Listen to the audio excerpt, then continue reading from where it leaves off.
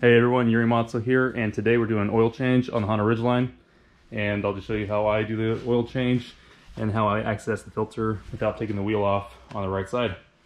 Alright, let's get it started. First you need to make sure that your car's been running for a couple minutes so the oil's warmed up. And then unscrew the oil cap right here up front.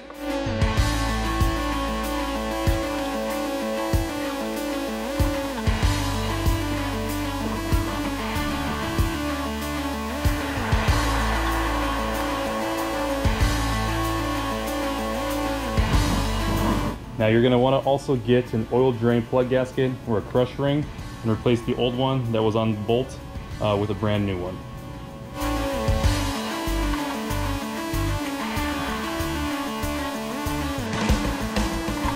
Now at this point we're gonna go in and pull back that piece of plastic uh, to get to the oil filter and we're gonna replace that.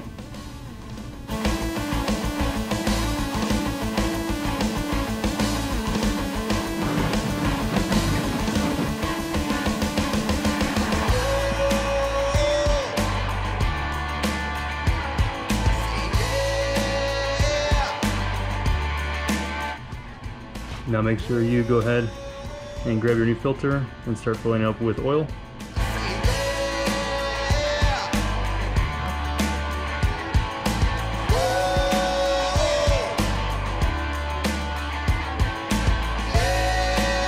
Now since we're changing the oil and the filter, we need to replace it with 5.7 US quarts.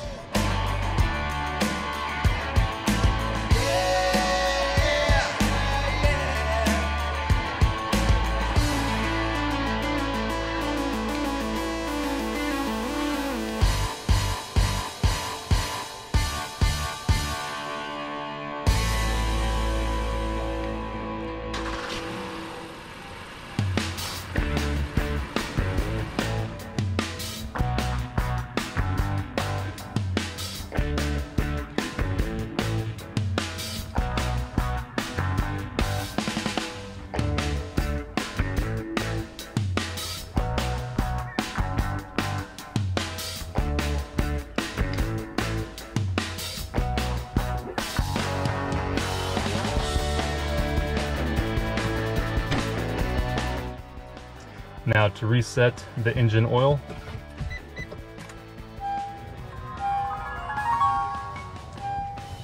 we're gonna go down to the engine oil. We're gonna press and hold the reset button.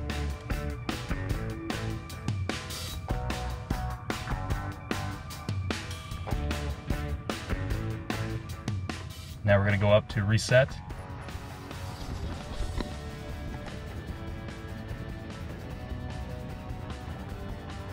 And reset's complete. And now,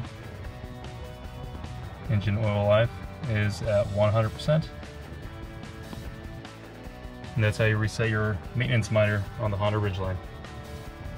So I hope that you guys found this video useful. If you guys did, please hit that like button and subscribe to the channel to see more videos like this. Thank you guys for watching.